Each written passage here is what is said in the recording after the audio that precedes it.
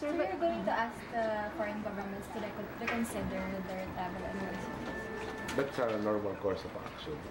But we will we will also convey our you know, certain questions na things like were this officially conveyed to us being an ally. Um, in, there are certain implications that we are also studying, but we will express our displeasure that uh, we believe that there is no adequate basis. There are suggestions that we should, especially in the light of yung, I think there was a, an incident involving an aircraft of one of these countries that happened in a third country. Yung, but at, at this point nga, yung, you don't wanna, you don't want to follow examples which we believe were not prudent. Sir, another issues po, um, can we have your thoughts on the... Yes, sir. Last naman po. Can we have your thoughts on the state of the politics in the US? Nangyayari po doon. Um, President Obama actually will be, you know, their, their economy, which impacts on the economy of the entire world, uh, is really in, in a series of straits, no? That uh, obviously, as the chief executive, will be blamed correctly or incorrectly for all of it.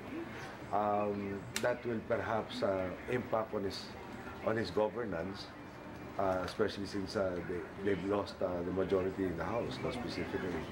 But uh, you know, America is a resilient economy, has a resilient economy. Their democratic processes have uh, been really and firmly institutionalized. So we believe there will be no major changes as far as their involvement in Southeast Asia is concerned. Sir, may issue pong order ang Supreme Court last- kanina. last- last- last. sorry, sir. Okay. Nag-order po ang Supreme Court kanina. Pinasasagot po ang ah, kayo po doon sa ah, petition na final ng I- ah, against doon sa EO Executive Order number 7 po. Ano po? Can ang just check on that? I haven't seen it.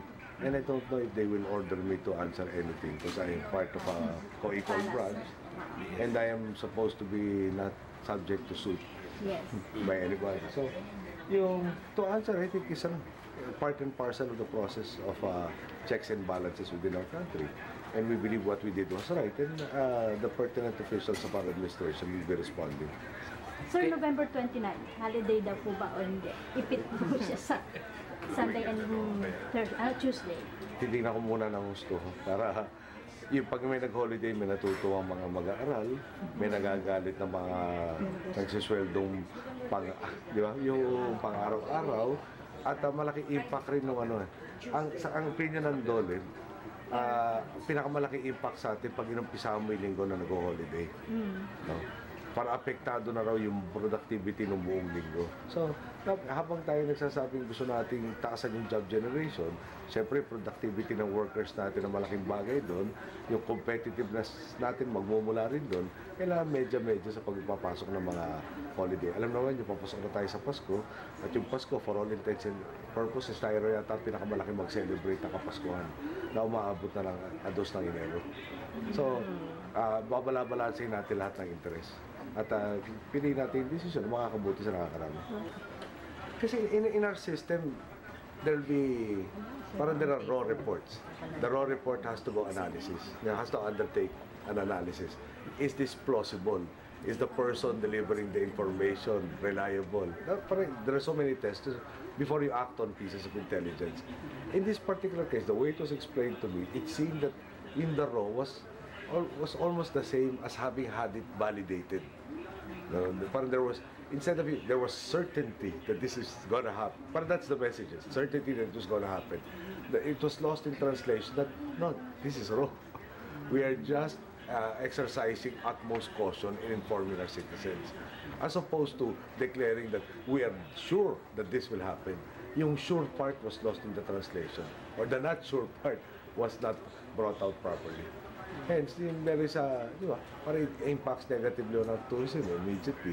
It adds unnecessary anxiety to our citizens and those that will be coming to us. So, one has to question whether that was prudent. So, yung nag-lost interpretation yung media, so, somehow. Uh, I, I, I, won't, I won't say naman, di ba, well, notice of a travel advisory. Perhaps yung, di ba, you don't expect naman media to have the capability to be intelligence analysts. And you know, ano, I don't know if you were given priority to all of the sources of information that led to this. In the same token that I am not sure that we were given official notice that this was gonna happen. So, masyado po mabilis po yung pag-issue ng company advisory. Kanya-kanyang bansa, kanya-kanyang pangangailangan eh. Ang pagkaintindi natin sa Australia, talaga nagkaroon sila na question kung napangalagaan nila mga kababayan nila adequately, especially sa in Bali, Indonesia. Ayaw nila maulit yan. Ayaw nila makasuhan siguro ulit. So, pag mayroon pang konting-konting balita, ito kailangan, para masabi, oops, eh, nawarin na namin kayo. As opposed to, di ba, parang talagang, dito talaga kayo pupunta, tinignan namin mabuti, sinuri namin na maayos, at talagang mapanganib sa inyo. Hindi yata ganun naman akin. Okay, thank you.